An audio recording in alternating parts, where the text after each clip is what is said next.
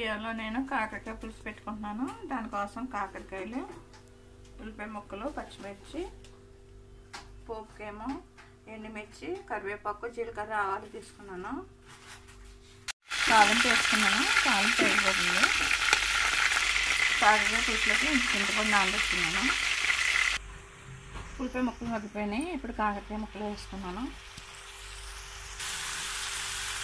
కాకరకాయ ముక్కలు మగ్గిపోయినాయి. ఇప్పుడు ఇందులో సరిపడా ఉప్పు కారం వేసి చింతపండు పులుసు వేసేస్తాను. కాకరకాయ ముక్కల్లో ఇప్పుడు ఉప్పు కారం వేసుకున్నాను చింతపండు పులుసు వేసుకుంటున్నాను దీంట్లోనూ.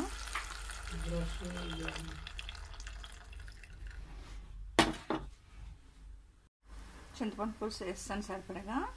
ఒక పావు నిమిషాల్లో కాకరకాయ పులుసు రెడీ అయిపోద్ది. గుమ్ముమలాడే కాకరకాయ పులుసు రెడీ. దింపేటప్పుడు ఒక్క అర స్పూన్ పంచదార వేసుకున్నాను ఇందులో. కొద్దిగా కొత్తిమీర వేసాను